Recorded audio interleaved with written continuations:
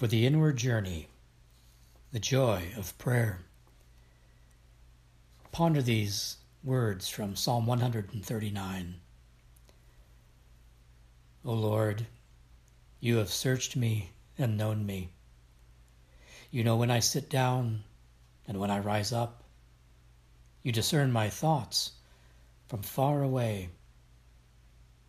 You search out my path and my lying down and are acquainted with all my ways. Even before a word is on my tongue, O Lord, you know it completely. You hem me in, behind, and before, and lay your hand upon me.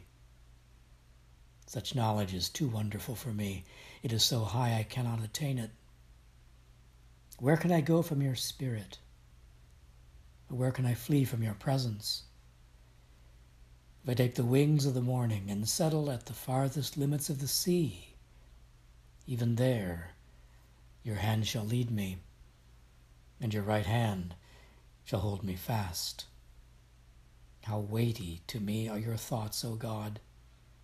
How vast is the sum of them! I try to count them.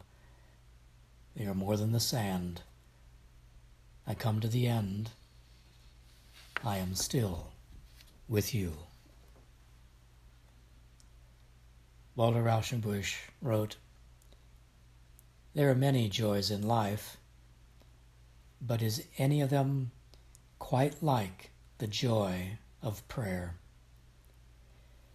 Anyone who has experienced it will always be haunted by homesickness for it.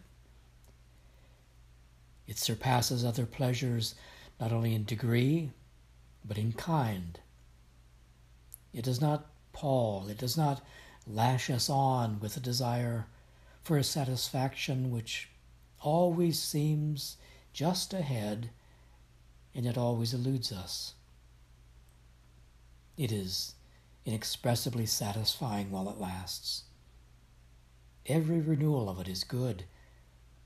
There's always more ahead, and yet we are strangely content with what we have. It combines desire and satisfaction, progress and rest. There is a strange sweetness in a real prayer when you are conscious of touching God. So today we pray with Rauschenbusch. We feel our utter need of Thee, Thou great companion of our souls.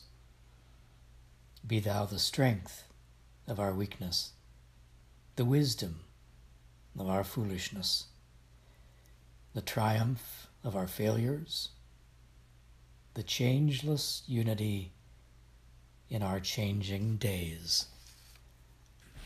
Amen.